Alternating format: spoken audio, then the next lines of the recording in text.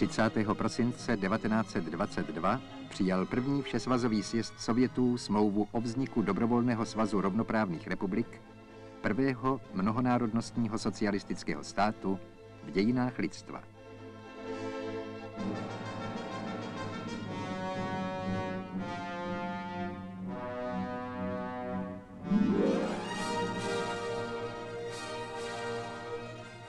Uplynulo 60 rokov, menej ako jeden ľudský vek.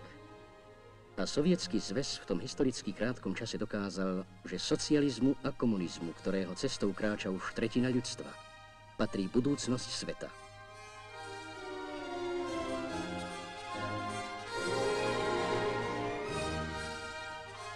Dnes je Sovětský svaz světovou socialistickou velmocí s obrovským ekonomickým a obraným potenciálem, zemí s nesmírnou surovinovou základnou a vyspělou vědou a technikou. Stavbou storočia či traťou do budúcnosti sa nazýva Bajkalsko-Amurská magistrála, ktorá umožní využitie najbohatších častí Sibíre. Budujú ju príslušníci všetkých národov a národností Sovětského zväzu.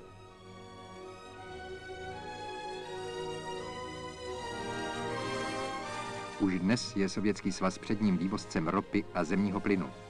Jako jediný průmyslový stát na světě zakládá svůj hospodářský rozvoj na vlastních palivoenergetických zdrojích.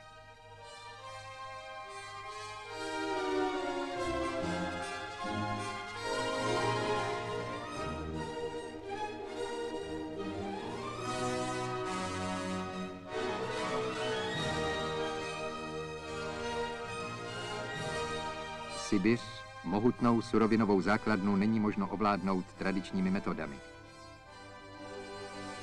V těžkých klimatických podmínkách tu vyrostly nové závody a nová města.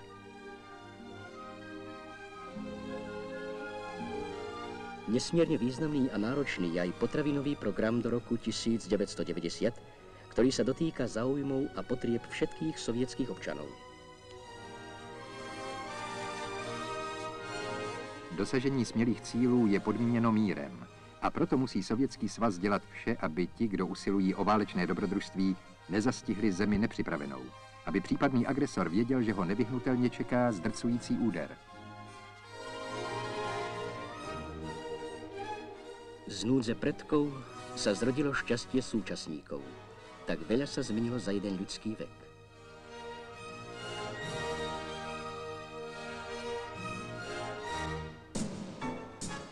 Carské Rusko patřilo k nejzaostalejším zemím.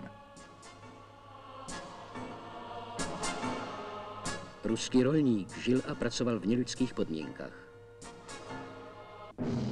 Bídu znásobila válka.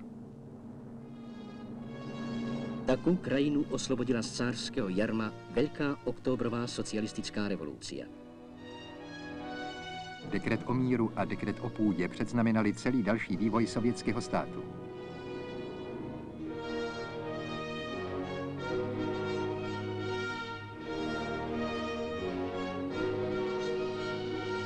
Boji s kontrarevolúciou a s interventami sa utužovala moc Sovietov.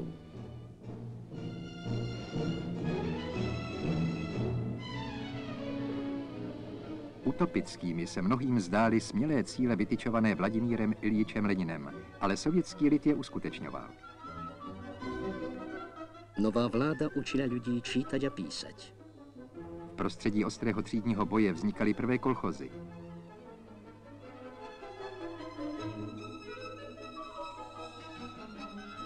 Tak sa stavala v prvej päťročnici Turkestansko-Sibírska železnica.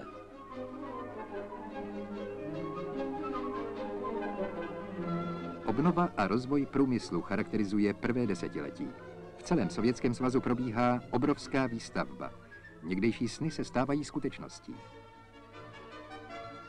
Do prevádzky bol uvedený Dneprogres a ďalšie elektrárne.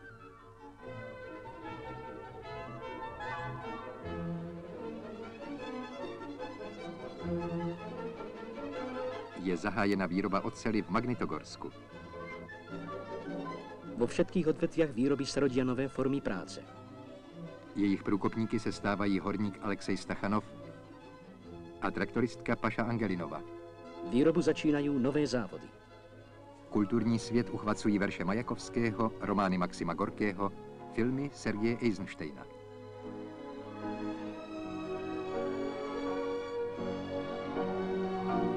Po stroskotaní lodě Čeljuskin obdivují hrdinstvo sovětských letců, kteří zachraňovali Papaninovou výpravu z plávající kryhy.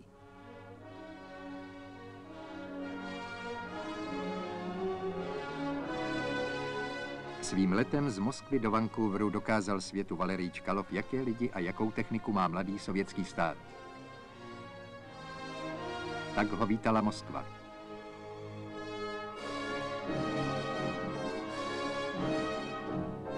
Nové stroje žali obilie z rozsiahlých kolchozních lánů. Sovětský zves žil v měrí.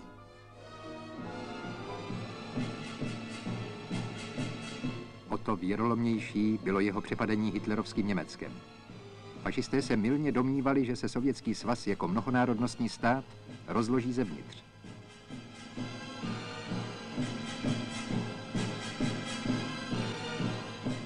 Obrana ohrozené socialistické vlasti se stala věcou každého sovětského člověka, bez rozdílu národnosti.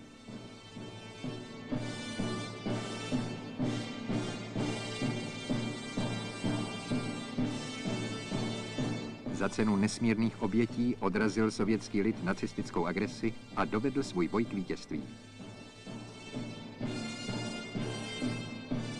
A tak válka, která měla zničit jediný socialistický stát na světě, ve svých důsledcích umožnila vítězství socialismu v dalších zemích.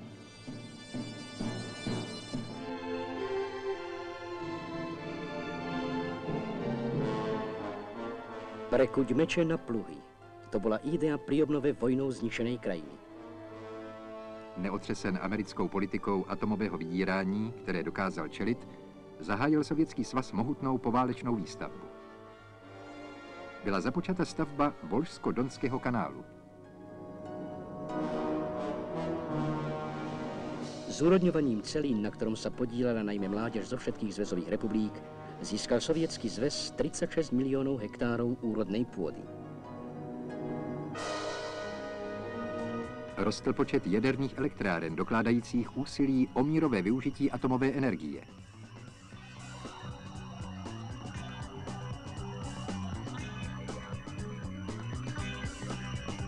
Prvým kozmonautom v dějinách lidstva se stal Jurij Gagarin, občan štátu, který v čase svojho vzniku, jako povedal Vladimír Ilyich Lenin, zaostával za Amerikou o 100 rokov.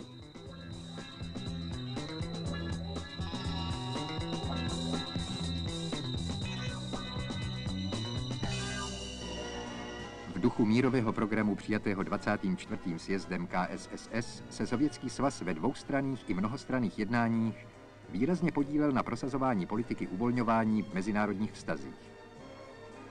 Z iniciativy Sovětského zvezu a dalších socialistických štátů se v Helsinkách uskutočnila konferencia o evropské bezpečnosti a spolupráci. I v rokovaniach so Spojenými štátmi o obmedzení strategických zbraní prejavoval Sovětský zväz nesmírné úsilie.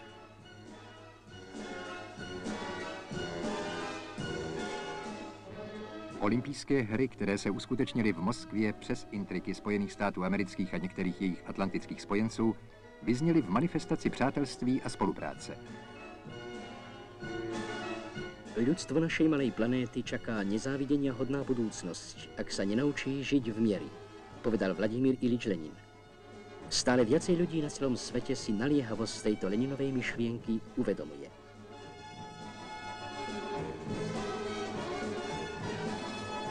26. sjezd komunistické strany Sovětského svazu rozšířil program míru přijatý 24. a 25. sjezdem, program, který je přímým pokračováním dekretu o míru a zahraničně politické linie zakladatele sovětského státu Vladimíra Iljiča Lenina. Před 60 lety vznikl Sovětský svaz jako první socialistický stát na naší planetě. Dnes cestou socialismu kráčí už třetina lidstva.